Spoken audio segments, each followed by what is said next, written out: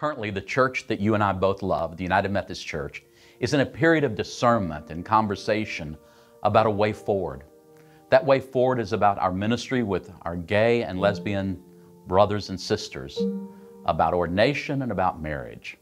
Of course, as in any matter related to the United Methodist Church, whether it's a witness in terms of what is happening in the world, even the way we interpret the Scripture, there is not uniformity about our opinions. In fact, we need to understand that unity, which is vital in, to our work and our mission as a church, does not mean uniformity. I can remember as a bishop when I was consecrated six years ago that one of the things that I heard forcefully in that service was that I was being consecrated to guard the unity of the church.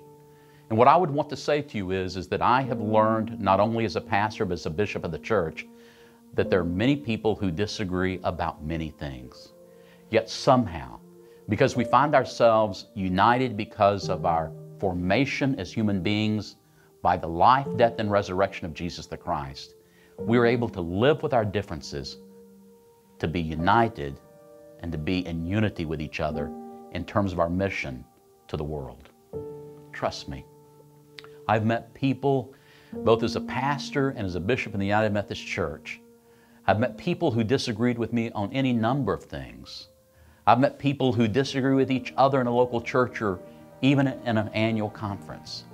But they continue to love each other and they continue to serve Jesus the Christ in a hurting world, perhaps more than ever before.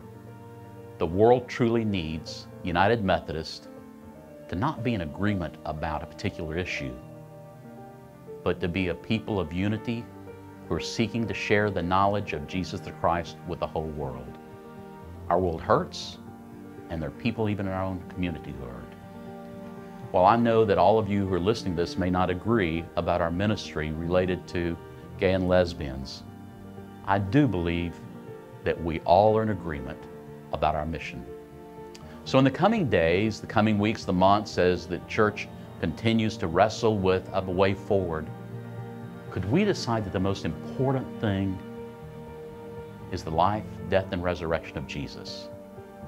I invite you in the coming days, uh, weeks, and months to continue, continue to pray for the church and continue to pray for the church's mission. And begin to pray and ask God not about whether you're right in terms of your opinion, but how God is using you to reach people for Jesus the Christ. Thank you for who you are and what you do, and God bless you.